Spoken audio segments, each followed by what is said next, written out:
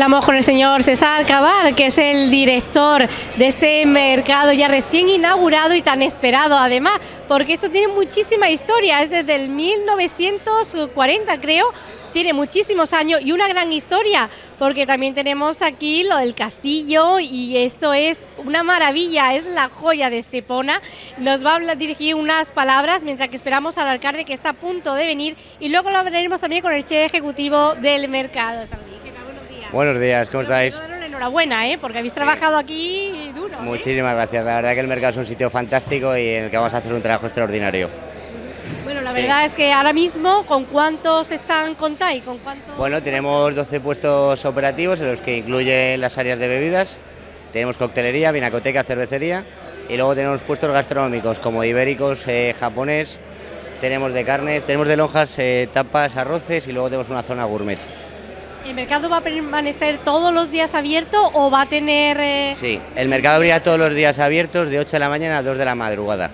Lo único que en horario de tarde no se realizarán comidas. Sí.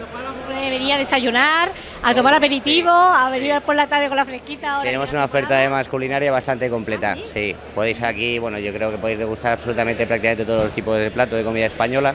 Y además tenemos aquí a nuestro chef ejecutivo, que es un fenómeno en la cocina. Te voy a presentar. Tenemos aquí a, a Fran, Francisco López, que es el chef ejecutivo del mercado. Seguramente él le dé unas palabras mejor que las mías, ¿vale? Pues muchísimas gracias, enhorabuena.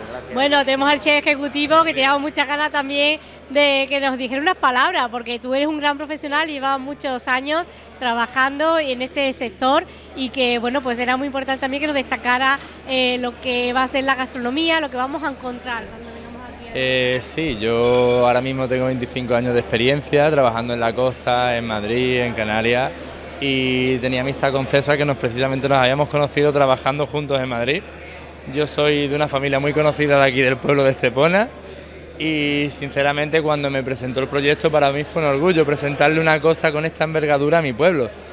Eh, más que nada porque sinceramente tanto los abuelos como los padres de Estepona para nosotros ha sido una lástima ver este mercado que ha vendido tanto, que ha tenido tanta historia en Estepona y que fuera un edificio que estaba ya en las últimas, ¿no? Entonces, la cuestión lo que se ha hecho es una nueva reestructuración, se ha hecho una obra y se ha hecho una reforma totalmente moderna y estructurada para darle un servicio espectacular tanto a la gente del pueblo como, como a la gente que venga de turista a visitarnos. Y sobre todo crear un punto de referencia gastronómico en todo lo que es el centro y darle vida a todos los, a todos los locales de hostelería del pueblo. Esa es nuestra intención modernizarse, hay que hay cosas que se quedan obsoletas, hay que estar al día porque vienen nuevas generaciones y es un punto de encuentro muy bonito en el cual pues se puede uno sentar en la terraza o dentro, esta variedad con un servicio además en mesa. Tenemos una de las novedades muy importantes que es a nivel Europa, ¿vale? Que en los mercados gastronómicos tipo la Boquería en Barcelona o el Mercado San Miguel, uno de los puntos importantes que nosotros hemos conseguido es dar un servicio en mesa. Nosotros ahora mismo queremos abarcar como ha dicho, como ha dicho César, desde por la mañana hasta por la noche y hemos estructurado desde cafetería para desayunar, después tenemos toda la calle del centro que está preciosa, llena de jardines, la hemos llenado de mesas, vamos a dar un servicio espectacular al cliente. Y aparte de eso hemos potenciado toda la, zona del centro histórico de Estepona como es el antiguo castillo de San Luis, lo hemos, se le han preparado unas luces de LED, perdón, y hemos creado una zona lounge bar en la que se pueden tomar gin tonic, gin tonería, coctelería, fumar chichas. Yo creo que es un proyecto muy ambicioso y que le va a dar mucha vida al centro de Estepona y que a los esteponeros nos va a gustar mucho. Enhorabuena, muchas gracias. Ya vendremos más de una vez. Muchísimas gracias a vosotros y que vengáis mucho y a todo el pueblo de Estepona y a todo el mundo que estamos abiertos, con los brazos abiertos esperándoos. gracias. gracias.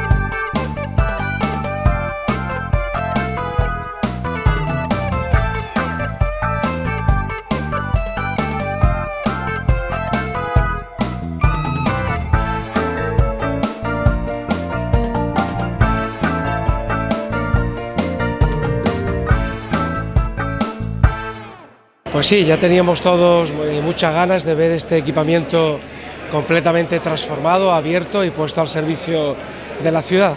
Espero que las cámaras recojan fielmente lo que estamos viendo todos, pero realmente se ha hecho un esfuerzo por parte de la empresa concesionaria muy grande han invertido una cantidad de dinero muy importante y el resultado está aquí. Es un mercado moderno, funcional, eh, nada que ver con lo que se hacía anteriormente, pero con una variedad gastronómica veo impresionante.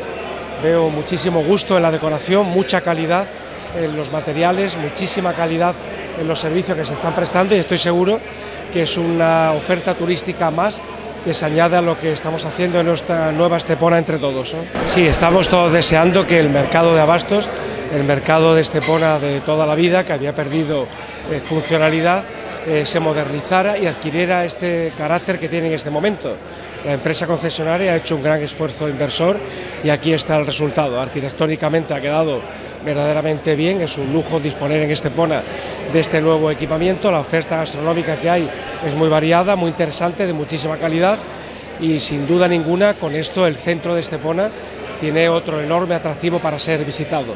Muy pronto concluirán los dos hoteles que están en marcha, pero ya la transformación de las 100 calles que se han, que se han modernizado, que se han embellecido con este equipamiento en el mercado, eh, ya hay muchísimas razones, razones muy potentes para venir a Estepona. Es un paso muy importante en ese sentido, ¿no? que estaba hablando. La transformación del casco histórico es un reclamo de primer orden. Sí, esto ya es la consolidación, quedan algunas cositas que hacer todavía, como terminar la reforma interior del castillo de San Luis, los hoteles de la Plaza de las Flores, pero ya vale la pena venir y desde luego invito a todos los esteponeros, invito a toda la gente que presencie esta entrevista, que se acerque al mercado. Vale la pena ver la obra que se ha hecho en él, pero vale la pena disfrutar de lo que en él se ofrece. ¿Con este proyecto también se genera también muchos puestos de trabajo? Sí, ahora nos contará la empresa concesionaria, pero en torno a 50 puestos de trabajo, que no está mal, puestos estables. La idea es que esté abierto los 365 días del año. Yo la verdad que como alcalde estoy muy satisfecho. Hemos recuperado para la ciudad otro gran equipamiento y otra otro equipamiento que se pone al servicio de todos. Bueno, la idea que tuvimos desde la empresa concesionaria, como ha dicho el alcalde, ha sido tratar con el máximo respeto y la máxima atención al edificio original. ¿no?